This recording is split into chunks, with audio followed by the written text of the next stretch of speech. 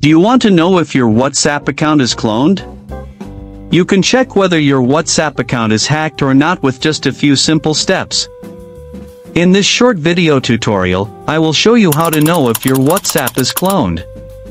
Just watch this video till the end, and do not forget to like this video and subscribe to this channel for more tutorials and tips videos.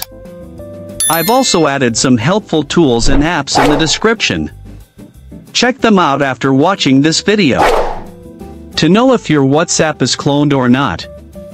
First, open the WhatsApp application on your mobile device. Once opened, you will see a list of chats. Look through these chats for any unfamiliar messages or activity.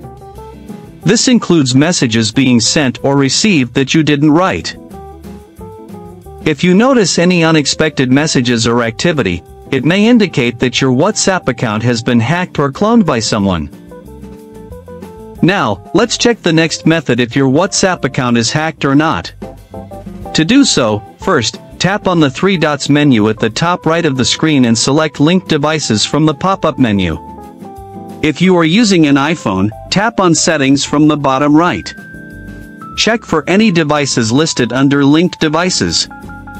For example, in my case, someone logged into and used my WhatsApp account on a Windows computer with Firefox web browser. You can also see the last active time here. If you see any unfamiliar devices like this that you didn't log into, tap on the device name and select log out from the pop-up.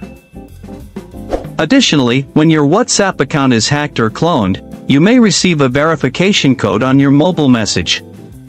This is a sign that someone is trying to access your account.